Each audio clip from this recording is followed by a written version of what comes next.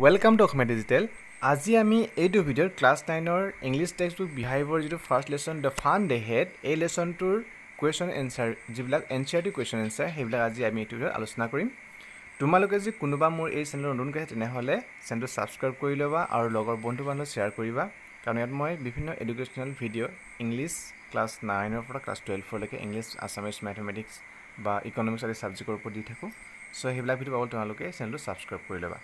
বাৰু এতিয়া আজি আমি ভিডিঅ'টো আৰম্ভ কৰোঁ। The fun they had. এই লেচনটো এই সম্পূৰ্ণ লেচনটো আমি এটা আন এটা ভিডিঅ'ত আমি আলোচনা কৰিলোঁ। সম্পূৰ্ণ লেচন অসমীয়াত ধুনীয়াকৈ এক্সপ্ৰেশ্যন কৰি আমি লাইন বাই লাইন আমি আলোচনা কৰিলোঁ। তোমালোকে যে সেই ভিডিঅ'টো চোৱা নাই তেতিয়াহ'লে মই তাৰ লিংক এই ডিছক্ৰিপ এই ভিডিঅ'টোৰ তলৰ ডিছক্ৰিপশ্যন দি তাত গৈ তোমালোকে চাই ল'ব পাৰিবা। বাৰু এতিয়া কুৱেশ্যন যিবিলাক আছে এতিয়া প্ৰথমতে তাত ফাৰ্ষ্টত আছিলে যিবিলাক নেকি দ্য ফাণ্ডেডৰ যি answer this questions sorry answer this questions in a few words or a couple of sentence is মানে এই এনেকুৱা ধৰণৰ কুৱেশ্যনবিলাক যিবিলাক আহিব এতিয়া এটা এটা বাক্য বা খুব বেছি দুটা বাক্যৰ ভিতৰত তোমালোকক দিব দিছে এনচাৰটো এইবিলাক খুব এক নম্বৰ বা মেক্সিমাম দুই নম্বৰ।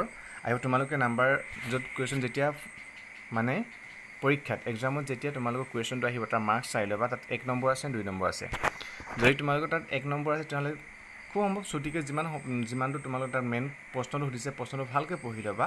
আৰু তাৰ প্ৰশ্নটোৰ যিটো উত্তৰ সেইটো এটা চেণ্টেঞ্চৰ বা মেইন টপিকত গৈ দিবা। যদি দুটা যদি দুই নম্বৰ থাকে তেতিয়াহ'লে অকণমান দুটা চেণ্টেঞ্চমান লিখিবলৈ চেষ্টা কৰিবা তেতিয়াহ'লে ফুল মাৰ্কছ পাবা। চ' আজি আমি এই কুৱেশ্যনছবিলাক আলোচনা কৰোঁ। এতিয়া ফাৰ্ষ্ট কুৱেশ্যনটো আছে how old are Margie and Tommy? আমি লেচনটোত মাৰ্জি আৰু টমিৰ বিষয়ে পাইছিলোঁ। মাৰ্জিৰ ছোৱালী টমি ককাইক আৰু মাৰ্জি আছিলে কোন? ভনীয়েক মানে মাৰ্জি সৰু আছিলে টমি হৈছে কি আছে how old are Margie and Tommy? How old কিমান মানে মাৰ্জি আৰু টমিৰ বয়স কিমান সেইটো সুধিছে। মাৰ্জিৰ বয়স কিমান আছিলে? মাৰ্জিৰ আছিলে এঘাৰ বছৰ টমিৰ আছিলে কিমান? থাৰ্টিন মানে তেৰ বছৰ। মাৰ্জি মাৰ্জিতকৈ টমি আছে দুই বছৰ। চ' আমি কি লিখিম তেতিয়াহ'লে? কিয়নো আমি ইয়াত তোমালোকে চাবা এটা মন কৰিবা যেতিয়া কুৱেশ্যনটো লিখা থাকে তাত তোমাৰ প্ৰেজেণ্ট পাষ্ট টেন্সত আছে তোমালোকে কুৱেশ্যনটো ভালকৈ পঢ়ি ল'বা। ইয়াত আৰ আৰ যিটো বি ভাৰ্ব আছে হেল্পিং ভাৰ্ব যিটো আৰটো কি তেনেহ'লে প্ৰেজেণ্ট টেন্সৰ চ' আমি কুৱেশ্যনটোৰ এনচাৰো প্ৰেজেণ্ট টেন্সতে দিবলৈ চেষ্টা কৰিম বা দিম। তোমালোকে কুৱেশ্যনটো এতিয়া পাষ্ট টেন্সৰ ফৰ্মত আছে নে তোমালোকে কেনেকৈ সুধিছে ভালকৈ কুৱেশ্যনটো এবাৰ বুজি ল'বা। তাৰপিছতে এনচাৰটো লিখিবা। চ' তেতিয়াহ'লে মাৰ্জিয়ে টমি আমি প্ৰথমতে মাৰ্জিয়ে টমি আনি ল'ম। Margie Margie is eleven eleven মানে এঘাৰ বছৰ আছিলে। মাৰ্জি ইজ ইলেভেন ইজ লিখিছোঁ ইয়াত। যদি ইয়াত হাউ অল্ড ৱেৰ বা যদি পাঁচ টেন্স থাকে তেতিয়াহ'লে আমি এইটো ৱাছ লিখিম চ' ইয়াত মাৰ্জি ইজ এলেভেন মাৰ্জি এঘাৰ বছৰ and Tommy is thirteen years old so' সেইটোৱে এনচাৰ খুব বেছি এক নম্বৰ কাৰণ বা মানে দুই নম্বৰ কাৰণে আহিব পাৰে দুই নম্বৰত। পাৰিবা তেনেহ'লে how old are Margie and Tommy Margie is eleven and Tommy is thirteen years old তাৰপিছত আহিলে what did Margie write in her diary what did Margie write in her diary. Margie এখন য'ত ডায়েৰী আছিলে ডায়েৰীত মানে মাৰ্জি লিখিছিলে নহয়। So কি কৈছে? What did what did Margie write in her মাৰ্জিয়ে ডায়েৰীত কি লিখিছিলে? মাৰ্জিয়ে ডায়েৰীখনত কি লিখিছিলে? চ' ইয়াত ইয়াত চ' কুৱেশ্যন আছে হোৱাট ডিড কি লিখিছিলে? ডিড এইটো পাছ ফৰ্মত আছে। চ' আমি এনচাৰটো পাছ ফৰ্মত দিম। So' Margie wrote Margie wrote right wrote. এইটো মানে ৰাইটৰ পাছ ফৰ্ম কি হয়? ৰোড। চ' আমি পাছত লিখিছোঁ মাৰ্জি ৰোড মাৰ্জি লিখিছিলে ইন হাৰ ডায়েৰী মাৰ্জিৰ ডায়েৰীতে কি লিখিছিলে ইয়াত হুবহু মানে মাৰ্জিয়ে সেয়াত তাত আমাৰ কিতাপত আমি কিতাপখন পাইছিলোঁ তাত কৰি দিছিলে যেতিয়া উৰ্ধকমা এই উৰ্ধকমা থাকে নহয়? উৰ্ধকমা থাকিলে কি হ'ব তেতিয়াহ'লে য'ত মানে যিটো বস্তু নেকি হুবহু হুবহু আমি তাৰ পৰা যেতিয়া লিখোঁ তেতিয়াহ'লে তাৰ ওপৰত কি থাকে উৰ্ধকমা ভিতৰত লিখিব লাগে। মাৰ্জিৰ কি লিখিছিলে তেনেহ'লে? Margie wrote in her diary today seventeen May' twenty one fifty seven Tommy found a real book এনেকৈ লিখিছিলে। চ' এইটো এনচাৰ হ'ব Margie wrote in her diary. Today আজি সোতৰ মে' একৈছশ সাতাৱন্ন চন Tommy found a real book Tommy এখন সঁচা কিতাপ পালে। কাৰণ মাৰ্জিৰ সময়ত future twenty one fifty seven ফিউচাৰৰ কথা কৈছে আমি একৈছশ সাতাৱন্ন। সেই সময়ত কি কৈছে? মাৰ্জি টমিৰ সময়ত সিহঁতৰ যেতিয়া ষ্টাডি মানে সিহঁতে পঢ়িছিলে মেকানিকেল টিচাৰৰ ওচৰত তাত কি সঁচা বুক মানে যেতিয়া আমি প্ৰিণ্টেড পেপাৰ পেপাৰত যেনেকৈ আমাৰ কিতাপ বৰ্তমানে আছে তেনেকুৱা কিতাপ সিহঁতে পোৱা নাই। সিহঁতে ক'ত পঢ়ে? টেলিভিশ্যন স্ক্ৰীণ বা মেকানিকেল টিচাৰ আৰু কম্পিউটাৰ স্ক্ৰীণত পঢ়ে। এইটো এনচাৰ তিনি নম্বৰ কুৱেশ্যনটো আছিলে হেড মাৰ্জি ইভাৰ চিন এ বুক বিফ'ৰ মানে মাৰ্জিয়ে আগতে কেতিয়াবা কিতাপ মানে যিখন প্ৰিণ্টেড কিতাপ এনেকুৱা কিতাপ দেখিছিলেনে সুধিছে? হেড মাৰ্জি এভাৰ চিন এ বুক বিফ'ৰ মাৰ্জিয়ে কেতিয়া কেতিয়াবা সঁচা বুক দেখিছিলেনে? চ' পাছ ফৰ্ম আছে হেড ন' প্ৰথম হ'ব ন' মাৰ্জি দেখা নাছিলে ন' Margie had never seen a book before Margie had never seen a book before Marzi আগতে কেতিয়াও ৰিয়েল বুক বা কিতাপ দেখা নাছিলে। চ' এইটো আহিলে তিনি নম্বৰ চাৰি নম্বৰ কুৱেশ্যন আছিলে চাৰি নম্বৰ কি আছে? অঁ চাৰি number what things about the book did she find strange কি কৈছে what things about the book did she find strange she ইয়াত চি মানে চি মানে যিহেতু তোমালোক কুৱেশ্যন যিহেতুকে এখন আমাৰ লেচনটোৰ শেষত দিয়া আছে লেচনটোৰ শেষত দিয়া আছে বাবে আমি অনুমান কৰিব পাৰিছোঁ সেই সেইটো লেচনৰে কুৱেশ্যন হ'ব। মানে যোনটো কি আছিলে দ্য ফান দে হেড। এই লেচনটোত চি চি বুলি ক'লে কাৰণ মেনশ্যন কৰা হৈছে তেতিয়াহ'লে চি মানে হ'ল মাৰ্জি। মাৰ্জি মাৰ্জি মাৰ্জি মানে হোৱাট থিংছ কি বস্তু এনেকুৱা বস্তু যিটো বস্তু এবাউট দ্য বুক অ' চৰি হোৱাট থিংছ এবাউট দ্য কিতাপখনৰ বিষয়ে মাৰ্জিয়ে কি কি এনেকুৱা বস্তু যোনটো মানে ষ্ট্ৰেঞ্চ মানে অদ্ভুত কিবা পাইছিলে। মানে মাৰ্জিয়ে কিতাপখনত কি কি মানে আনইউজুৱেল অদ্ভুত দেখি কিবা দেখা পাইছিলে। মাৰ্জিয়ে আচৰিত মানে কিবা কিয় মানে মাৰ্জিয়ে সেই কিতাপখনত কিতাপখন দেখি মেলি কিয় আচৰিত হৈছিলে বা কিয় অদ্ভুত কি বস্তু কি বস্তু মানে ন'টিছ কৰিছিলে দেখিছিলে। ইয়াত চি তোমালোকৰ যেতিয়া কুৱেশ্যন আহিব মানে তোমালোকৰ পৰীক্ষাত কুৱেশ্যন আহিব তেতিয়া হয়তো এই চিতে তাত মাৰ্জি লিখা থাকিব। What things about the book did Margie find strange মান কাৰণ এইটো কুৱেশ্যন আমি কিতাপ লেচনটোৰ যিটো আমি হেডাৰ থানত তাত কি আছে মাৰ্জিয়ে টমি আছে চি বুলি ক'লে আমি ডেফিনেটলি গম পাম যে মাৰ্জিৰ কথা কৈছে। কিন্তু তোমালোকৰ যেতিয়া প্ৰশ্ন হ'ব তেতিয়া হয়তো মাৰ্জি তাত লিখা থাকিব। চ' ইয়াত অকণমান কুৱেশ্যনটো অকণমান দহলাই লিখিব। তোমালোকে খুব বেছি যে এক নম্বৰ আহে এইটো খুব এনেকুৱা কুৱেশ্যন আহিলে হয়তো দুই নম্বৰ আহিব কিন্তু তোমালোকে এক নম্বৰ তেতিয়াহ'লে এক লাইন বা দুলাইন লিখি যাব কিন্তু ইয়াত আমি কুৱেশ্যনটো সম্পূৰ্ণ এনচাৰটো মানে সম্পূৰ্ণ কৰিবলৈ অকণমান দীঘলীয়াকৈ লিখি দিছোঁ। আৰু ক'ব আহিব the things the things about the book did she she মানে কি? Margie. Margie found strange where the words of the book stood still they did not move as the words moves on the computer screen when they turned back to the previous page it still had the same words on it কি কৈছে? Answer কি লিখিব লাগিব আমি তেতিয়াহ'লে? মাৰ্জিয়ে মানে কিতাপখনত কি এনেকুৱা এটা আচৰিত পাইছিলে বা অদ্ভুত কি দেখুওৱা পাইছিলে? The things about the book then she Margie found strange where কি পাইছিলে তেতিয়াহ'লে? দ্য ৱৰ্ডছ কিতাপখন যিবিলাক শব্দ আছিলে শব্দ বুক ষ্টুড ষ্টিল মানে সেইবিলাক লৰচৰ নোহোৱাকৈ একে ঠাইতে ঠাই থাকিছিলে। মানে যেনেকৈ আমি কম্পিউটাৰ বা মোবাইল স্ক্ৰীণ হওক বা টেলিভিশ্যন স্ক্ৰীণ হওক তেতিয়াহ'লে আমি যেতিয়া আমি কিবা টেক্সট পঢ়োঁ কেতিয়াবা আখৰ তেতিয়াহ'লে আমি এনেকৈ স্ক্ৰল কৰাৰ লগে সেইবোৰ ওপৰত তলত যায়গৈ। কিন্তু কিতাপ এখনত সেইবিলাক লৰচৰ হ'ব জানো? টেক্সটবিলাক লৰচৰ নহয়। চ' সেইটো মানে মাৰ্জিয়ে কিন্তু যিহেতু মাৰ্জিয়ে সেইটো সময়ত কি কিতাপ দেখুৱাই নাই সিহঁতে কিহত পঢ়ে? কম্পিউটাৰ স্ক্ৰীণত বা কোনোবা স্ক্ৰীণত টেলিভিশ্যন স্ক্ৰীণত পঢ়ে চ' সেই সময়ত আমি এতিয়া স্ক্ৰীণত মোবাইলত যেতিয়া বা যিকোনো মোবাইলত আমি টেক্সট পঢ়োঁ। কিন্তু আখৰ তেতিয়াহ'লে কি স্ক্ৰীণত এনেকৈ স্ক্ৰল কৰি এনেকৈ ইফালে সিফালে আখৰবিলাক ইফালে নিব পাৰে সিফালে নিব কিন্তু কি আচৰিত পাইছিলে কিতাপখনত সেইবিলাক মানে কিতাপখন চুই মেলি উঠা নমা নকৰে বা ইফালে সিফালে নাযায়। সেইটো আচৰিত পাইছিলে। So' found strange where the words of the book stood still they did not move as the words moves on the computer যেতিয়া আমি তাত লিখা পাইছিলোঁ দে মানে দে মানে কি? সেই লেটাৰবিলাক they did not ৱৰ্ডছবিলাক they did not move as the words যেনেকৈ নেকি কম্পিউটাৰ স্ক্ৰীণত মানে ৱৰ্ডবিলাক বা লেটাৰবিলাক এনেকৈ ইফালে ইফালে সিফালে লৰচৰ হয় কিন্তু সেই কিতাপখনৰ আখৰবিলাক লৰচৰ নহয়। They turned back to the previous page it still had the same words on it যেতিয়া নেকি আমি প্ৰিভিয়াছ পেজত আমি যাওঁ তেতিয়াহ'লে আখৰবিলাক একে ঠাইতে একে নিচিনাকৈ থাকে। চ' সেইটো answer what do you think a telebook is মানে টেলিবুক নেকি? What do you think a telebook is মানে তোমাক সুধিছে তোমালোকে কি ভাবা? মানে এখন টেলিবুক আমি টেলিবুকৰ কথা আমি ৰেষ্টুৰেণ্টত পাইছিলোঁ। টেলিবুক মানে তোমালোকে কি ভাবা? টেলিবুক বুলি ক'লে কি বুজা? সেইটো এনচাৰ হ'ব টেলিবুক তেতিয়া টেলিবুক কি হ'ব? A telebook is displayed on the television or computer screen and the text of a telebook is similar to a book. Telebook মানে কি? টেলিবুক মানে যোনখনে পি ডি এফ আমি যে পি ডি এফ পঢ়োঁ বা ই বুক পঢ়োঁ মোবাইলত বা কম্পিউটাৰ যিবিলাক নেকি টেক্সট পি ডি এফ আকাৰত থাকিব নহ'লে মানে কি ই বুক থাকে কিছুমান সেইবিলাকে টেলিবুক হৈছে য'ত আমি পঢ়োঁ ন কিতাপ। এ টেলিবুক ইজ কি হয়? A telebook is displayed on the টেলিভিশ্যনৰ computer screen মানে টেলিবুক ইজ ক'ত আমি ক'ত চাব পাৰোঁ? যোনবিলাক নেকি আমি কম্পিউটাৰ স্ক্ৰীণ বা টেলিভিশ্যনৰ স্ক্ৰীণত চাওঁ বা মোবাইল স্ক্ৰীণত চাওঁ সেইবিলাকে হৈছে কি? Telebook and the text of the telebook is similar to মানে যিবিলাক মানে আখৰ লিখা থাকে সেইবিলাক আখৰবিলাকো কি এখন কিতাপৰ কিতাপত যেনেকৈ থাকে তেনেকৈ থাকে কিন্তু সেইবিলাক মুভ হৈ থাকে। So' telebook is cut a telebook is displayed on the com television or computer screen and the text of telebook is similar to a book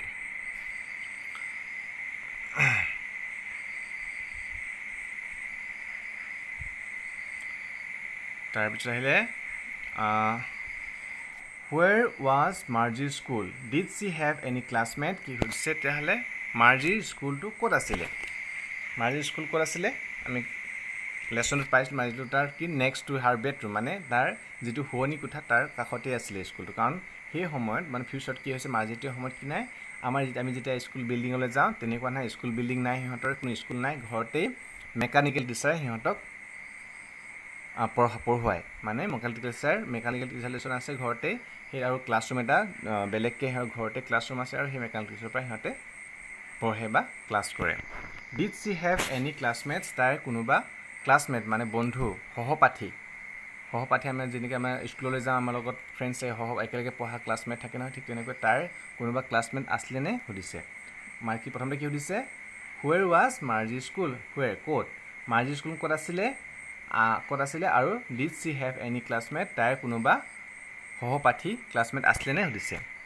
মানে কি হ'ব? প্ৰথম কুৱেশ্যনটো এনচাৰ ইড মাৰ স্কুল মাৰ্জিৰ স্কুল মাৰ্জিৰ উপস্থিত এছ মানে মাৰ্জিৰ ইয়াত কি কৈছে? এছটো বোলে কি? ৰ বুজাইছে মাৰ্জিৰ school was next to her bedroom ক'ত আছিলে? চিম্পুল কুৱেশ্যন এনচাৰ মাৰ্জিৰ তোমালোকে মনত থ'বলৈ খুব ইজি হ'ব। মাৰ্জিৰ স্কুলখন ক'ত আছিলে? মাৰ্জিৰ school was next next to her bedroom তাৰ শুৱনি কোঠা বা বেডৰুমৰ কাষতেই তাৰ ক্লাছৰুমটো বা স্কুলটো আছিলে। তাৰ কি হৈছে? Did she have any classmate তাইৰ কোনোবা সহপাঠী বা ক্লাছমেট আছিলেনে ন' নাই। তাই she did not have any classmates তাইৰ কোনো সহপাঠী বা ক্লাছমেট নাছিলে। যিহেতু ইয়াত তোমালোকে চাবা মন কৰিবা ৱাজ এইটো পাষ্ট টেন্সৰ আছে এইটো ডিড পাষ্ট চ' আমি এনচাৰটো ৱাজটো এনচাৰটো আমি পাষ্ট টেন্সৰ পাষ্টতে দিম। What subjects did Margie and Tommy learn Margie আৰু টমিয়ে কি কি বিষয় পঢ়িছিলে স্কুলত বা সিহঁতৰ মেকানিকেল টিচাৰ কি কি ছাবজেক্ট কিতাপত আমি যিবিলাক যিকেইটা ছাবজেক্ট পাইছিলোঁ সেইকেইটা এনচাৰ আৰু কিকেইটা তিনিটা ছাবজেক্টৰ কথাই মেনশ্যন কৰিছে গতিকে যিকেইটা ছাবজেক্ট মেনশ্যন কৰিছে সেইকেইটা সেইকেইটা আমি উত্তৰ হিচাপে লিখিম। চ' কি কি কৈছিলে? Margie and Tommy learn Margie আৰু টমিয়ে learn learn past form did ইয়াত আছে নহয় ডিড আমি যেতিয়া পাছ ফৰ্ম লাৰ্ণ হ'ব তোমালোকে সেইকাৰণে ভাৰ্ব লিষ্টখন ভালকৈ মুখস্থ কৰিবা কিয়নো ভাৰ্ব লিষ্টখন বা টেন্সটো জনা খুব দৰে যিকোনো এনচাৰ তোমালোকে লিখোঁতে।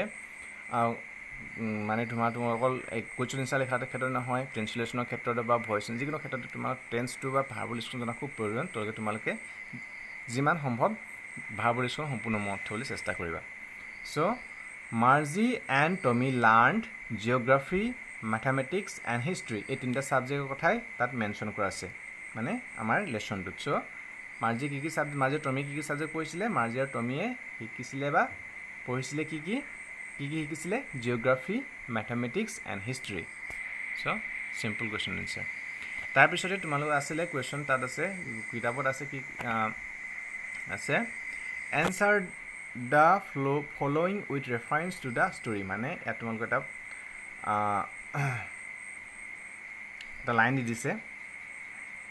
এই লাইনটো মানে এই লাইনটোৰ ওপৰত ভিত্তি কৰি তোমালোক কুৱেশ্যন দিছে আৰু সেই কুৱেশ্যনটো হিচাপে এনচাৰ আমি লিখিব লাগিব। So' I would not throw' it away E just এটা লাইন এটা ক'ট কৰি দিছে। তাক লেচনটো হ'বহো মানে উঠাই নিছে। লেচনটোত যেনেকৈ আছিলে সেই এটা বাক্য কি আছিলে? I would not throw' it away কথা কোনে কৈছিলে? টমিয়ে কৈছিলে। টমি কি কৈছিলে? মই এইটো আমি বা মই এইটো আমি পেলাই দিবলগীয়া নহয় বা হেৰি কৰি দিওঁ কিহৰ ক্ষেত্ৰত? কিতাপৰ ক্ষেত্ৰত কৰি কিতাপ কি কৈছিলে? যিহেতু কিতাপ এখন থাকে আৰু যেতিয়া আমি পঢ়িয়ে শেষ হয় সেইটো মাৰ্জিহঁতে বা টমিহঁতে কল্পনা কৰিছে যে সেইটো কিতাপখন পঢ়াৰ পিছত আৰু কিতাপখন কৰিবলৈ একো নাথাকে। গতিকে হয়তো কিতাপখন আৰু সিহঁতে এবাৰ পঢ়ি মেলি পেলাই দিয়ে বা এইবোৰ ক'ৰবাত থৈ দিয়ে। কিন্তু আমি সেইবিলাক নকৰোঁ। আমাৰ কিউ কম্পিউটাৰত বা টেলিভিশ্যনত আমি সেইবিলাক ছেভ কৰি থ'ব পাৰোঁ। যিমান মন যায় সিমান কিতাপ আমাৰ কম্পিউটাৰত ছেভ হৈ থাকে। ক'তো মানে বেলেগত থৈ দিও পেলাই দিবলগীয়া নহয়। কিন্তু সেইটো কথা ইয়াত উল্লেখ কৰিছে। কোনে কৈছিলে এইটো কম্পিউটাৰ তেনেহ'লে? প্ৰথম কুৱেশ্যনটো আছিলে প্ৰথম কুৱেশ্যনটো তেনেকৈ আছে। হু চেজ দিছ ৱৰ্ড এই ৱৰ্ডটো ৱৰ্ড এই বাক্যকেইটা বা শব্দকেইটা কোনে কৈছিলে? তেতিয়াহ'লে কি হয় Tommy says this word simple question আছে এক নম্বৰ এটা আহি যাব তোমালোকৰ। সেইকাৰণে তোমালোকে পঢ়োঁতে বাৰ বাৰ তোমালোকে কৈছোঁ যে তোমালোকে পঢ়োঁতে সদায় যিকোনো লেকচাৰ যিকোনো ছাবজেক্টৰে হওক তোমালোকে যিমান পাৰা কিতাপবিলাক থ্ৰ' ৰিডিং কৰিবা। আজিকালিতো তোমালোক passage unseen passage seen passage তোমাৰ চেইন পেছেজ বা কিতাপৰ লেচনৰ পৰা তোমালোকে এটা পেজেছ আহিব তাৰ পৰা কুৱেশ্যন এনচাৰ আহে নহয় ঠিক তেনেকৈ এনে কুৱেশ্যন আহিব পাৰে সেই তোমালোকে যদি কি কৰা কিতাপখন সম্পূৰ্ণ লেচনটো একদম থ্ৰ' ৰিডিং কৰা কিতাপৰ সম্পূৰ্ণ লেচনৰ পৰা তেতিয়াহ'লে এইটো বুজি পোৱাত সুবিধা হ'ব। ছেকেণ্ড কুৱেশ্যনটো আছে what does it refers to মানে ইট এই ইট বুলি কৈছে য'ত ইয়াত I would not throw' it away এই ইট ইটটোক মানে ইটটোৱে কি বুজাইছে কাক বুজাইছে ইটটোৱে ইট ৰিফাৰ্ছ মানে ইট মই এই এইটো মানে আমি এইটো কিন্তু আমি আমি I would not throw' it away মানে আমি এইটো আৰু আমি পেলাই নিদিওঁ বা পেলাই দিবলগীয়া নহয়। এই ইটটোৱে ইটটোৱে মানে কি বস্তু পেলাই নিদিয়া কথা বা দলিয়াই নিদিয়া কথা কৈছে। So' it refers to the books or telebooks মানে টেলিবুকছ কথাই কৈছে। বুকছ মানে হ'ল সিহঁতৰ সময়ত টমিহঁতৰ সময়ত যিটো বুক আছে সেই টেলিবুকছ হয়। So' it refers to the telebooks বা বুকছ। মানে সিহঁতৰ যিবিলাক কম্পিউটাৰ ইয়াত স্ক্ৰীণত ছেফ কম্পিউটাৰত ছেফ থাকে সেইবিলাক যে থ্ৰ' কৰি দিওঁ নহয় দলিয়াই পেলাবলগীয়া নহয় পেলাই দিবলৈ নহয় সেই কথাত মেনশ্যন বা উল্লেখ কৰিছে। থাৰ্ড কুৱেশ্যন আছে what is it being compared with the speaker মানে স্পীকাৰ মানে স্পীকাৰ মানে কোন? টমি টমিয়ে এই ইট মানে এই যে ইটটো মানে কিহৰ লগত মানে কাৰ লগত আমি এইটো তুলিয়াই দলিয়াই দিবলৈ নহয় মানে কাৰ লগত তুলনা কৰিছে? তাত কম্পেয়াৰ কৰিছে চ' কম্পেয়াৰ কম্পেয়াৰ কাৰ লগত কৈছে the printed paper book is being compared with the telebooks by the speaker মানে আমি গম পাইছোঁ তেতিয়াহ'লে সেই প্ৰিণ্টেড পেপাৰ মানে কি হ'ব? দ্য প্ৰিণ্টেড পেপাৰ যিবিলাক আমাৰ বৰ্তমান সময়ত আমাৰ প্ৰিণ্টেড কিতাপ আছে নহয় printed printed book paper book মানে যিবিলাক আমি বৰ্তমান প্ৰিণ্টেড কাগজত প্ৰিণ্টেড কাগজত কাগজৰ যিবিলাক কিতাপ সেই কাগজৰ কিতাপবিলাকৰ লগত যে টেলি বুকছ হয় ই বুকছ মানে যি ই বুকছ হওক পি ডি এফ আকাৰৰ যিবিলাক বুকছ থাকে বা কম্পিউটাৰ স্ক্ৰীণত কম্পিউটাৰত যিবিলাক ছেভ হৈ থকা কিতাপ হয় সেই কিতাপবিলাকৰ লগত কম্পেয়াৰ বা তুলনা কৰিছে। আৰু নেক্সট আছে তেনেকুৱা ধৰণৰ কুৱেশ্যন দুই নম্বৰ কুৱেশ্যন আছে। এইটো ক'ত কৈ দিছে এইটো। Sure they had a teacher but it was not a regular teacher it was a man এই কথাষাৰ কোনে কৈছে? নিশ্চয় সিহঁতৰো টিচাৰ আছিলে। মানে সিহঁতৰো শিক্ষক আছিলে। কিন্তু এইটো মানে আমাৰ বৰ্তমানৰ সময়ৰ দৰে মেকানিকেল বা ৰেগুলাৰ টিচাৰ আমাৰ দৰে আমাৰ বৰ্তমানত থকা টিচাৰৰ দৰে নহয়। ইট ৱাজ এ মেন মানে এইটো কি আছিলে? হিউমেন মানুহ মানুহে মানে টিচাৰ আছিলে। চ' এইষাৰ কথা কোনে কৈছে? টমিয়ে কৈছিলে। টমিয়ে কাক কৈছিলে? মাৰ্জিক কৈছিলে যে কি সেই সিহঁতেও টিচাৰ নাছিল মানে টিচাৰ নাছিলে নেকি? স্কুলত কেনেকৈ পঢ়াইছিলে? মানে সিহঁতৰ টিচাৰ নাছিলে নেকি বা নাহিছিলে? আমাৰ যেনেকৈ মেকানিকেল টিচাৰ আছে তেনেকুৱা সিহঁতৰ টিচাৰ তেতিয়া সুধিছিলে নহয় তেতিয়া টমিয়ে কৈ তেতিয়া টমিয়ে কৈছে যে কি নিশ্চয় সিহঁতৰ টিচাৰ এজন আছিলে শিক্ষক আছিলে কিন্তু সেইটো আমাৰ বৰ্তমান সময়ত মেকানিকেল টিচাৰ নহয়। সিহঁতৰ কি আছিলে? টিচাৰজনৰ কি আছিলে? মানুহ বা হিউমেন বিং আছিলে। চ' এবাৰ কুৱেশ্যন দিছে who does they refer to and they কৈছে চিয়'ৰ দে সিহঁতৰো। সিহঁতৰ বুলি ক'লে কাক বুজাইছে তেনেহ'লে? হু ডাজ তেতিয়াহ'লে they refer to the students centuries ago' of Margie and Tommy's present time. মানে? নিশ্চয় টমি দে মানে আমাৰ বৰ্তমান সময় বা যিবিলাক নেকি মাৰ্জিহঁতৰ একৈছশ সাতাৱন্ন পাইছোঁ আমি বৰ্তমান বৰ্তমান সময়ত grandfathers grandfathers grandfather বুলি ক'লে মানে সেই এশ বছৰ আগৰ এশ বছৰ আগৰ যিবিলাক মানে ষ্টুডেণ্ট হয় সিহঁতৰ কথা ৰেফাৰ কৰিছে। চ' দেখিব লাগিব they refer to the students মানে এই ডেফাৰ ডেটোৱে সেইটোৱে সেইবিলাক ষ্টুডেণ্টৰ কথা কৈছে। চেঞ্চুৰিজ এগ' এশ এশ শ শতিকাৰ বা এশ বছৰ আগৰ অফ মাৰ্জিয়াৰ টমিজ প্ৰেজেণ্ট মাৰ্জিয়াৰ টমিৰ বৰ্তমান সময়ৰ এশ শ বছৰ আগৰ ষ্টুডেণ্টসকলা সকলৰ কথা উল্লেখ কৰা হৈছে। ছেকেণ্ড কুৱেশ্যন আছে what does regular mean here মানে হোৱাট ডাজ ৰেগুলাৰ ৰেগুলাৰ এই ৰেগুলাৰ শব্দ ৰেগুলাৰ শব্দটো হৈছে ৰেগুলাৰ টিচাৰ আছে নহয় ৰেগুলাৰ টিচাৰ বা ৰেগুলাৰ শব্দটোৱে কি অৰ্থ প্ৰকাশ কৰিছে? ৰেগুলাৰ মানে কি? মানে সিহঁতৰ বৰ্তমান সিহঁতৰ যিটো আছে টিচাৰ আছে হয় নাই? মেকানিকেল টিচাৰ চ' সেই মেকুলাৰ মেকানিকেল টিচাৰৰ উল্লেখ কৰিছে। চ' হিয়েৰ ইয়াত regular means the mechanical teacher then they had মানে ৰেগুলাৰ মানে এইটো ৰেগুলাৰ হিয়েৰ ইয়াত ৰেগুলাৰ অৰ্থ শব্দ অৰ্থ হৈছে মেকানিকেল টিচাৰৰ কথা যিটো নেকি তেহঁতৰ টমি আৰু মাজিৰ সময়ত আছিলে। Third question what is it contrasted with what is it contrasted with মানে ইয়াত কাৰ লগত তুলনা কৰা হৈছে বা কণ্ট্ৰাষ্টেড মানে বা বিপৰীত বা তুলনা তুলনামূলকভাৱে বিপৰীত ডিফাৰেণ্ট দেখুওৱা হৈছে কাৰ লগত পাৰ্থক্য দেখুওৱা হৈছে। কণ্ট্ৰাষ্টেড মিন ডিফাৰেঞ্চ মানে কাৰ লগত পাৰ্থক্য দেখুওৱা হৈছে। ইট মানে কালত পাৰ্থক্য দেখুওৱা হৈছে মানুহ আৰু মানুহ আমাৰ বৰ্তমান সময়ত যি হিউমেন টিচাৰ মানে আমাৰ মানুহ মানুহবিলাকে যিবিলাক শিক্ষক হয় কিন্তু সেইটো সময়ত টমি আৰু মাৰ্জিৰ সময়ত যিটো মেকানিকেল টিচাৰ তাৰ লগত মানে কণ্ট্ৰাষ্টেড বা পাৰ্থক্য দেখুওৱা হৈছে। So' it is contrasted with an with a normal teacher of earlier times who was a living human being মানে কণ্ট্ৰাষ্টেড কালৰ পাৰ্থক্য দেখুওৱা হৈছে নৰ্মেল টিচাৰ বৰ্তমান সময়ত যি normal teacher of earlier time আগৰ সময়ত যিবিলাক আগৰ মানে মাৰ্জিৰ সময়তকৈ যিটো আগৰ অতীতৰ অতীতৰ যিবিলাক নৰ্মেল টিচাৰ আছিলে টিচাৰ আছিলে সিহঁতৰ মানে যিবিলাক নেকি কি আছিলে হিউমেন বিং মানুহ আছিলে সেই মানুহ টিচাৰৰ লগত তুলনা কৰা হৈছে বা কম্পেয়াৰ পাৰ্থক্য দেখুওৱা হৈছে। তাৰপিছত আহিলে তোমাৰ তিনি নম্বৰত যিবিলাক কুৱেশ্যন এনচাৰ নেকি অকণমান দীঘলীয়াকৈ আমি লিখিব লাগিব। ইয়াত কি হৈছে answer is of this questions in a short breakup about thirty words প্ৰায় মানে ত্ৰিছটা শব্দৰ ভিতৰত লিখিব দিছে। হয়তো এইবাৰ দুই তিনি নম্বৰ কুৱেশ্যন এইটো দুই দুই তিনি নম্বৰ বা কিছু ক্ষেত্ৰত ক্ষেত্ৰত পাঁচ নম্বৰ পাঁচ নম্বৰ নহ'ব দুই তিনি নম্বৰ থাকিব। কুৱেশ্যন এনচাৰ এইবিলাক এনেকুৱা ধৰণৰ কুৱেশ্যন এনচাৰ তোমালোকে প্ৰায় কেইটামান বাক্য লিখিব লাগিব বা ত্ৰিছটা বা ত্ৰিছটা ৱৰ্ড লিখিছে চ' আমি এই কুৱেশ্যনবিলাক আলোচনা কৰোঁ।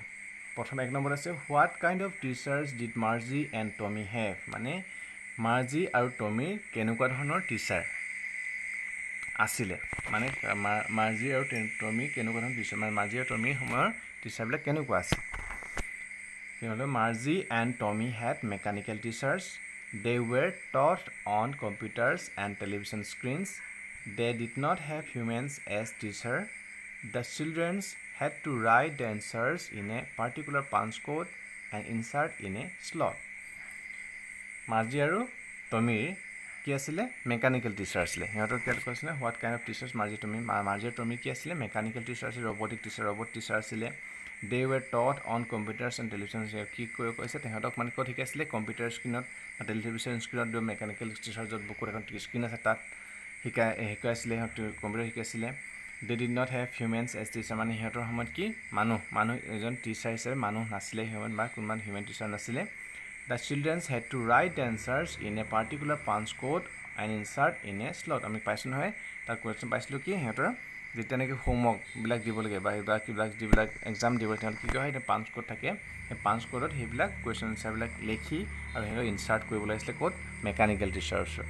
চ' এইটোৱে হ'ব এনচাৰ আৰু দুই নম্বৰ কুৱেশ্যন আছিলে what did Margie's mother send for the county teacher oh' sorry why did Margie's mother send for the county inspector Margie মাৰ্জিৰ মাকে মাৰ্জিৰ মাকে মানে ৰবটিক কি? মেকানিকেল টিচাৰটো তাক কাউণ্টি কাউণ্টি টিচাৰ কাউণ্টি ইনস্পেক্টৰৰ ওচৰলৈ লৈ গৈছিলে নহয়। যেতিয়া নেকি মাৰ্জি কি হৈছিলে জিঅ'গ্ৰাফি ছেক্টৰত কি হৈছিলে পৰীক্ষা খুব বেয়া কৰি আছিলে মাৰ্জি সেইকাৰণে খুব আপছেট আছিলে। চ' মাৰ্জি মাকে সেইটো ন'টিচ কৰিছিলে হয়তো কিবা প্ৰব্লেম হ'ব পাৰে মেকানিকেল টিচাৰৰ সেইকাৰণে সেইটো ভাবি ঠিক কৰিবলৈ কাউণ্টি ইনস্পেক্টৰ ওচৰ কাউণ্টি ইনস্পেক্টৰে কি কৰে ৰবট টিচাৰ চোৱা চিতা কৰে সেইবিলাক মানে তাত পুট আপ কৰে। চ' মাৰ্জিৰ মাকে কিয় কাউণ্টি ইনস্পেক্টৰৰ ওচৰলৈ গৈছিলে পঠিয়াইছিলে। So' Margie's mother sent for the county inspector because the mechanical teacher was not functioning properly it kept giving Margie geography test after test and she was performing worse every time Margie's mother was concern and thus sent for the county inspector কি এনচাৰটো কি হ'ব তেতিয়াহ'লে? মাৰ্জিৰ মাকে county ইনস্পেক্টৰৰ ওচৰত পঠাইছিলে এইকাৰণে কাৰণ মেকানিকেল টিচাৰটো কি হৈছে ৱাজ নট ফাংচনিং মেকানিকেল মাৰ্জিটো মাৰ্জিৰ ভাগৰ মেকানিকেল টিচাৰ আছিলে সেইটো ভালকৈ কাম কৰা নাছিলে। কাৰণ সেইটো কি এই কি কৈছিলে মাৰ্জিক টেষ্টৰ ওপৰত টেষ্ট দি আছিলে জিঅ'গ্ৰাফিৰ ওপৰত আৰু মাৰ্জিয়ে সেইটো ভালকৈ এনচাৰ কৰিব নোৱাৰিছিলে বা পাৰফৰ্মিং ভালকৈ কৰ্চ কৰ্চ কৰিছিলে মানে বেয়া এইবিলাক মানে সকলো সময়তে পৰীক্ষাত বেয়া কৰিছিলে টেষ্টত। চ' মাৰ্জিৰ মাকে সেইটো সেইটো অকণমান চিন্তিত হৈছিলে বা সেইটো মানে কিবা ন'টিচ কৰিছিলে সেইকাৰণে তাক কি কাউণ্টি ইনস্পেক্টৰ ওচৰলৈ মেকানিকেল টিচাৰক পঠিয়াইছিলে। চ' এইটোৱে হ'ব answer third what did he do মানে কুৱেশ্যনটো হোৱাট আমি যিহেতু আগতে পাইছোঁ লেচনটোৰ তলতহে কুৱেশ্যনটো থাকে সেইকাৰণে ইয়াত তোমালোকৰ হয়তো এক্সামত what did county inspector do এনেকৈ আহিব পাৰে কাৰণ সি মানে কি কৈছে কাউণ্টি ইনস্পেক্টৰৰ কথা উল্লেখ কৰিছে। The county inspector smile at Margie and gave her an apple and then he took the teacher apart the geography sector of the mechanical teacher was then get a little and he slowed it up to an average ten year level কি হ'ল? County ইনস্পেক্টৰনে তেতিয়াহ'লে কি কৰিলে? যেতিয়া county inspector ওচৰত গ'ল তেতিয়াহ'লে তেতিয়া মানে কাউণ্টি ইনস্পেক্টৰ কি কৈছিলে? প্ৰথমতে কি কি কৈছে? কি কোৱা হ'ব? আমি পাইছিলোঁ নহয় কাউণ্টি ইনস্পেক্টৰে মাৰ্জিৰ মুখলৈ চাই। কি হাঁহি বা হাঁহি প্ৰথমতে হাঁহিছে তাৰপিছত এটা আপেল দিছিলে খাবলৈ। তাৰপিছত মেকানিকেল খুলি গোটেইবিলাক ইফাল সিফাল কৰি দিছিলে। তাৰ লিচনটো উল্লেখ আছে গোটেইবিলাক খুলি খালি। মানে ইফালে এৰুৱাই হেৰি কৰিছিলে তাৰপিছত চাল দেখিলে যে জিঅ'গ্ৰাফিৰ যিটো মাৰ্জিৰ যিটো জিঅ'গ্ৰাফিৰ চেক্টৰ আছে জিঅ'গ্ৰাফিৰ ভাগটো সেইটো কি হৈছিলে অকণমান উচ্চ খাব তাৰ বয়স অনুসৰি মাৰ্জি যিহেতু এঘাৰ বছৰ আছিলে কিন্তু তাৰ বয়স অনুপাতত মানে বেছি অলপ হাই ক্লাছৰ তাত মানে ইনষ্টল কৰা আছিলে। যিহেতুকে কম মেকানিকেল দিছে তাত মানে সেইটো এনচাৰবিলাক বা যিটো ভাগ হয় সেইটো উচ্চ খাব সেইকাৰণে কি কৰিলে তাৰপিছত সেইটো কি কৰিছিলে মেকানিকেল টেন ইয়েৰ লেভেল মানে দহ বছৰীয়া ছাত্ৰ ছাত্ৰীক যিমানখিনি পঢ়িব পাৰে সিমানটো লেভেলত সেইটো ঠিক কৰি দিছিলে। চ' এনচাৰটো কি হ'ব? The county inspector smile at Margie's and gave her কি মাৰ্জিৰ কাউণ্টি ইনস্পেক্টৰে মাৰ্জিৰ ফালে এটা হাঁহি মাৰিছে তাৰপিছত গেফ আৰ এন এপল তাৰপিছত তাইক কি কৈছিলে এটা আপেল দিছিলে তাৰপিছত টুক দ্য টিচাৰ পৰা তাৰপিছত মেকানিকেল টিচাৰটো মানে কি গোটেইবিলাক খুলি মেলি থৈছিলে। তাৰপিছত জিঅ'গ্ৰাফিৰ sector of the mechanical teacher was grade little মানে গ্ৰেড মানে ওপৰ উচ্চ ওপৰলৈ লৈ গৈছিল ওপৰ ওপৰত আছিলে ৱাজ সেইকাৰণে কি কৰিলে সেইটো শ্ল' কৰি দিলে অলপ তললৈ আনিলে আৰু এভাৰেজ দহ বছৰীয়া ছাত্ৰ ছাত্ৰী যিমানলৈ পঢ়িব পাৰে সিমানলৈ সেইটো কমাই দিলে। Why was Margie doing badly in geography what did the county inspector do to help her এইটো প্ৰায় একে ছেইম এনচাৰ হ'ব। মানে কি হৈছে হোৱাই কিয় মাৰ্জিয়ে জিঅ'গ্ৰাফিত প্ৰত্যেকবাৰে বেয়া কৰিছিলে? মানে টেষ্টত কিয় বেয়া কৰিছিলে? What did the county inspector do to help her তেতিয়া কাউণ্টি ইনস্পেক্টৰটোৱে তেতিয়া কি কৰিলে? এনচাৰ হ'ব। Margie had been doing badly in geography because the questions of the mechanical teacher were too quick for her as the county inspector adjusted its speed up to an average ten year level the county inspector assure that the overall pattern of the Margie's progress was quite satisfactory কি কৈছে কি আনচাৰটো কি আমি লিখিম? কি প্ৰশ্নটো কি আছিলে প্ৰথমতে আমি পঢ়িলোঁ why was Margie was doing badly in জিঅ'গ্ৰাফিত মাৰ্জিয়ে কিয় মানে বেয়া কৰি মানে প্ৰত্যেকবাৰে বেয়া কৰিছিলে Margie had been doing badly in মাৰ্জিয়ে Margie had been doing badly in geography প্ৰথম আমি কুৱেশ্যনটো সেই লিখি ল'লোঁ মানে মাৰ্জিয়ে জিঅ'গ্ৰাফিত এইকাৰণে বেয়া কৰিছিলে বিকজ কি কাৰণে দ্য কুৱেশ্যনছ যিবিলাক কুৱেশ্যন আছিলে তাৰ প্ৰশ্ন আছিলে সেইবিলাক of the mechanic teacher were too quick to her মানে তাত তাইৰ যিটো বয়স তাতকৈ অলপ আগতীয়াকৈ বয়স অনুপাত তাতকৈ আগতীয়াকৈ উচ্চ খাপৰ মানে কুৱেশ্যন এনচাৰ কুৱেশ্যনছবিলাক তাৰ মেকানিক টিচাৰ দিছিলে তাক তেতিয়া তাৰপিছত কি কৰে what did county inspector do to help এটা তাইক সহায় কৰিবলৈ বা তাইক বুজিব কি কৰি তাৰ কাউণ্টি ইনস্পেক্টৰ কি কৰিছিলে the county inspector adjusted it speed up to an average ten level হয়নে? কাউণ্টি ইনস্পেক্টৰ কি কৈছিলে তাৰ যিটো মানে মেকানিকেল টিচাৰটোৰ যি জিঅ'গ্ৰাফি চেক্টৰ তাৰ সেইটো তললৈ ডাউনগ্ৰেড কৰি বা শ্ল' কৰি তললৈ আনিছিলে দহ বছৰীয়া ছাত্ৰ ছাত্ৰী যিমানখিনি দিব পাৰে সিমানটো লেভেললৈ আহিছিলে। The county inspector assured the overall pattern of the Margie's progress was quite কাৰণ পিছত কি কৈছে বাকী যিবিলাক ছাবজেক্ট আছে সেই ছাবজেক্টৰ যিবিলাক প্ৰগ্ৰেছ হয় টেষ্টৰ প্ৰগ্ৰেছ সেইবিলাক মাৰ্জি যিবিলাক কৰিছে যিজনলৈ পঢ়িছে বুজিছে সেইটো বহুত সন্তোষজনক ভাল আছিলে। কিন্তু জিঅ'গ্ৰাফি চেক্টৰটো যিহেতুকে মাৰ্জিৰ বছৰতকৈ অকণমান ওপৰত লেভেল আছিলে সেইকাৰণে তাই বেয়া কৰিছিলে। What had once happen to Tommy's teacher আমিতো কুৱেশ্যনত পাইছিলোঁ। মানে এবাৰ টমিৰ মেকানিক টিচাৰটোৰ কি হৈছিলে বা টিচাৰৰ কি কি হৈছিলে? কি ঘটিছে কি হৈছিলে? ওৱান্স এটা মানে এদিন এবাৰ মাৰ কি কোনে মাৰ্জিয়ে আমি লেচনটোত উল্লেখ কৰিছে নহয়। মাৰ্জি এবাৰকে টমি এটা মেকানিক টিচাৰ এবাৰ বেয়া হৈছে প্ৰায় এমাহমান ধৰি। মানে ঠিক হৈ অহা নাছিলে কাউণ্টি ইনস্পেক্টৰ আছিলে। তেতিয়া কি মাৰ্জিয়ে ভাবিছিলে যে মোৰ যিটো সেইটো এইটো কাউণ্টি ইনস্পেক্টৰ ওচৰলৈ গৈছে। যিহেতুকে মাৰ্জিয়ে খুব বেয়া পায় মেকানিকেল টিচাৰটো আগলি ফেচ কিবা উল্লেখ কৰিছে। সেও ভাবি তাইও ভাবিছিলে যে কি মোৰটো যদি এমাহমান পৰি থাকে তেতিয়াহ'লে বহুত ভাল হ'ব। কিন্তু কি কৈছিলে কাউণ্টি ইনস্পেক্টৰে লগে লগেই সেই ঠিক কৰি পুনৰ পঠিয়াই দিছিলে। চ' এনচাৰটো কি হ'ব? Once Tommy's mechanical teacher was taken away for nearly a month because the history sector had blank out completely কি কাৰণে? ওৱান্স মানে মাৰ্জিৰ চৰি টমিৰ মেকানিক টিচাৰলৈ কি ঘটিছিলে এবাৰ? ওৱান্স এবাৰ টমি মেকানিকেল টিচাৰটো ৱাজ টেকেন মানে লৈ গৈছিলে away for nearly a month প্ৰায় একমাহৰ বাবে টমিৰ টিচাৰটো লৈ গৈছিলে। কাৰণ বিকজ কি কাৰণে দ্য হিষ্ট্ৰী ছেক্টৰ মানে যিটো হিষ্ট্ৰীৰ ভাগটো আছিলে ব্ৰঞ্জী ভাগটো প্ৰায় হেড ব্লেংক আউট মানে সম্পূৰ্ণ উৰি গৈছিলে। আমি যেনে ডিলিট হৈ যোৱা বা উৰি যোৱা বুলি কওঁ নহয় তাই মানে সেই মেকানিক টিচাৰটো যিটো তাত লোড কৰা থাকে ইনষ্টল কৰা থাকে সেই ছেক্টৰটো মানে সম্পূৰ্ণ উৰি গৈছিলে সেইকাৰণে প্ৰায় এমাহৰ কাৰণে লৈ গৈছিলে।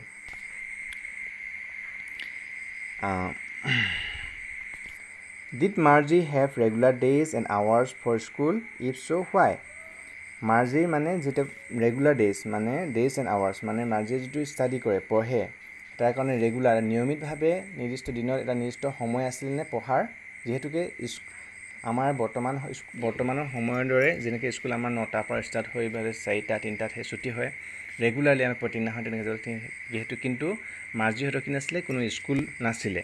ঘৰতে মেকানিকেল টিচাৰে পঢ়ে যেতিয়া মনে তেতিয়া পঢ়িব পাৰে। কিন্তু ইয়াত সুধিছে মাৰ্জিৰ এনেকৈ নিৰ্দিষ্ট দিন বা সময় আছিলনে পঢ়াৰ কাৰণে? যদি হয় সেইটো হয় তেতিয়াহ'লে কিয়? মানে কিয় সেইটো আছিলে? নিশ্চয়কৈ আছিলে মাৰ্জিৰ মাকে কৈছিলে নহয়। মাৰ্জি মাকে কি কয় মাৰ্জিৰ নিৰ্দিষ্ট সময়ত মাৰ্জি টমিক মাতিছিলে নহয় যেতিয়া কিতাপ পঢ়ি থাকোঁতে আহাক পঢ়িব হ'ল বুলি। কাৰণ মাৰ্জিৰ মাকে বিশ্বাস কৰে যে সৰু ল'ৰা ছোৱালীয়ে এটা নিৰ্দিষ্ট সময়ত যদি পঢ়ে তেতিয়াহ'লে ভালকৈ অধ্যয়ন কৰিব বা শিকিব পাৰে বুলি মাৰ্জিৰ মাকে কৈছিলে। চ' এনচাৰটো কি হ'ব? মা য়েছ নিশ্চয়কৈ হয়। Did Margie have regular days and মানে মাৰ্জিলে নিশ্চয় দিন আৰু সময় আছিলেনে য়েছ আছিলে। Margie had regular days and hours for school because her mother believed that little girl learn better if they learn at regular hours কি কৈছে? হয়। মাৰ্জিৰ নিৰ্দিষ্ট দিন আৰু সময় আছিলে স্কুলৰ কাৰণে। কাৰণ মাৰ্জিৰ মাকে বিশ্বাস কৰিছিলে যে সৰু ল'ৰা ছোৱালীয়ে ভালকৈ শিকিব পাৰে যদিহে সিহঁতৰ এটা নিৰ্দিষ্ট ৰেগুলাৰ নিৰ্দিষ্ট টাইমত পঢ়ে বা লিখে শিকে তেতিয়াহ'লে ভালকৈ মানে বেছি ভালকৈ পঢ়িব বা বুজিব পাৰে।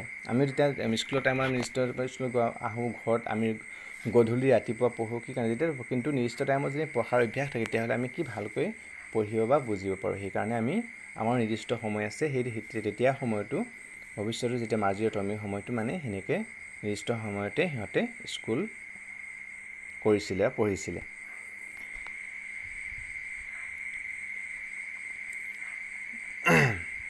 সাত number question how does Tommy describe the old kind of school টমিয়ে কেনেকৈ মানে পুৰণা আগৰ দিনৰ স্কুলৰ কথা কেনেকৈ টমিয়ে বৰ্ণনা কৰিছিলে? কেনে বৰ্ণনা কৰিছিলে? কৈছিলে নহয় সিহঁতৰ বৰ্তমান আগৰ দিনৰ স্কুলত নিৰ্দিষ্ট বিল্ডিং আছিলে আমাৰ দৰে নাছিলে সিহঁতৰ নিৰ্দিষ্ট বিল্ডিং আছিলে সিহঁতৰ গোটেই ল'ৰা ছোৱালীবিলাক একেলগে স্কুললৈ গৈছিলে তাত সিহঁতে একেলগে খেলা ধূলা হাঁহিছিলে ফূৰ্তি কৰিছিলে স্কুল স্কুলৰ ভিতৰত। সিহঁতে নিজে একেলগে সমনীয়াৰ লগত একেলগে পঢ়াটো এনজয় কৰিছিলে। সিহঁতে নিজৰ ক্লাছৰুমত একেখিনি ক্লাছ একেটা ক্লাছতে একে গোটেইখিনি একেলগে পঢ়িছিলে। সেইখিনি কথা উল্লেখ কৰিছিলে। চ' কি আমি এনচাৰটো কেনে লিখিম তেনেহ'লে? টমি চেইজ হাউ ডাছ টমিয়ে কেনেকৈ মানে টমিয়ে কেনেকৈ বৰ্ণনা কৰিছিলে? টমিয়ে কেনেকৈ বৰ্ণনা কৰিছিলে কৰোঁ Tommy says that the old schools were different কাৰণ সেইটো সময়ত বেলেগ মানে আগৰ পুৰণা স্কুলৰ অলপ সেইটো সময়তকৈ পাৰ্থক্য আছিলে। They had a special building and all the kids when there to study together কি কৈছে সিহঁতে সিহঁতৰ নিজৰ এটা স্কুল বিল্ডিং আছিলে আৰু সিহঁতে সকলো ল'ৰা ছোৱালীসকলে কিডছবিলাকে সেই তাত পঢ়িবলৈ সকলোৱে একেলগে গৈছিলে একেলগে পঢ়িছিলে। They loved and shouted in the school yard সিহঁতে স্কুলৰ স্কুল য়াৰ্ডত বা স্কুলৰ কক্ষত সিহঁতে কি কৰিছিলে স্কুলত সকলোৱে একেলগে হাঁহি ফূৰ্তি কৰিছিলে চিঞৰিছিলে। They enjoy time together and learn lessons together in a classroom সিহঁতে সিহঁতৰ সময়বিলাক একেলগে সুন্দৰকৈ মানে সিহঁতে এনজয় কৰিছিলে ফূৰ্তি কৰিছিলে আৰু সিহঁতে একেলগে ক্লাছৰুমত একেলগে পঢ়িছিলে বা শিক্ষা লাভ কৰিছিলে। আঠ নম্বৰ কুৱেশ্যন আছে how does he describe the old kind of চৰি এটা কুৱেশ্যন আহিলে এইটো। আঠ number. How does Tommy describe old kind of school how does describe old kind so' এইটো মানে আঠ নম্বৰ কুৱেশ্যনটো ইয়াত নাহিলে চাগে কোৱা ভুল হ'ল। তাৰপৰা দুখিত মই নেক্সট টাইম মই সেইটো কুৱেশ্যন এনচাৰ দি দিম বাৰু। আৰু তাৰ পিছৰ যিবিলাক কুৱেশ্যন আনচাৰ আছে সেইবিলাক বহুত দীঘলীয়া হৈ যায়। মানে সেইটো long question five five five hundred ৱৰ্ডছৰ ভিতৰত দিবলৈ আছে। সেইবিলাক যদি মই ইয়াত তেতিয়াহ'লে ভিডিঅ'টো বিলাক দীঘল হৈ যাব তোমালোকক। মই কি কৰিম তোমালোক এইবিলাক গোটেই কুৱেশ্যন এনচাৰবিলাকৰ এটা পি ডি এফ আকাৰত মানে এখন ই বুক আকাৰত মই কুৱেশ্যন এনচাৰবিলাক গোটেইবিলাকৰ গোটেই লেচনবিলাকৰ লেচনছ আৰু কবিতাবিলাকৰ পইমবিলাকক এটা বনাই আছোঁ বোলে সেইবিলাক কমপ্লিট হোৱালৈকে মই এইটো তোমালোকক পি ডি এফত মোৰ তাত ডিছক্ৰিপশ্যনত বা ক'ৰবাত দি দিম তোমালোকে তাৰ পৰা ল'ব পাৰিবা। বাৰু তোমালোকে যে আজিৰ ভিডিঅ'টো ইমানটোৱে হওঁ কাৰণ বহুত দীঘলীয়া হৈ যাব কাৰণ যিবিলাক পাঁচশ শব্দৰ ভিতৰত সেইবিলাকটো আমি আলোচনা কৰিবলৈ যাওঁ তেতিয়াহ'লে বহুত দীঘল হৈ যায়। চ' সেইটো মানে এটা পি ডি এফ আকাৰত মই তোমালোকক সেইবিলাক দি দিম তোমালোকে তাৰপৰা লৈ ল'ব পাৰিবা।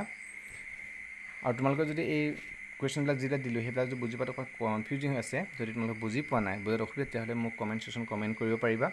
আৰু তোমালোকৰ যদি নেক্সট কিবা ভিডিঅ' লাগে কেনেকুৱা ভিডিঅ' তাৰ পৰাও তুমি কমেণ্ট কৰিবা ফিডবেক দিবা। আৰু তোমালোকৰ মই কৈছোঁ মই অন অনলাইন ক্লাছৰ ব্যৱস্থা কৰোঁ অনলাইন ক্লাছো কৰোঁ তোমালোকে যদি কোনোবা ইচ্ছুক হয় তেতিয়াহ'লে অনলাইন ক্লাছৰ মোক কণ্টেক্ট কৰিব পাৰিবা হোৱাটছআপ নম্বৰ মই দি দিম। তোমাৰ তাত কন হোৱাটছআপ কৰিব পাৰিবা বা নহ'লে মেছেজ কৰিব পাৰিবা তোমালোকে যদি কোনোবা ইচ্ছুক হয় কিন্তু পেইড ক্লাছ হ'ব কাৰণ বহুতখিনি অসুবিধা থাকে সেই কৰিবৰ কাৰণে ইয়াত তোমাৰ মানে বহুতখিনি তোমাৰ সেই ইনষ্ট্ৰুমেণ্ট লাগে প্লাছ মানে তোমালোকে ছাবস্ক্ৰিপশ্যন লাগে কিছুমান জুমত ক্লাছ কৰিলে জুমত যদি ছাবস্ক্ৰিপশ্যন কৰোঁ তাত ছাবস্ক্ৰিপশ্যন ফিজ লাগে সেইবিলাকৰ কাৰণে মই নিশ্চয় এটা পেইড ক্লাছৰ প্ৰাইচ ঠিক কৰিছোঁ তেওঁলোকে তাত যদি পেইড ক্লাছ কৰিব বিচাৰে তেতিয়াহ'লে তোমালোকে মোক কণ্টেক্ট কৰিবা থেংক ইউ ফৰ ৱাচিং নেক্সট ভিডিঅ'ৰ বাবে আৰু তোমালোকে যদি ভিডিঅ' ভাল পাইছা তোমালোকে যদি সহায় হয় তেতিয়াহ'লে তোমালোকৰ লগৰ বন্ধু বান্ধৱ শ্বেয়াৰ কৰি দিবা আৰু ভিডিঅ'টো লাইক কৰি দিবা। Thank U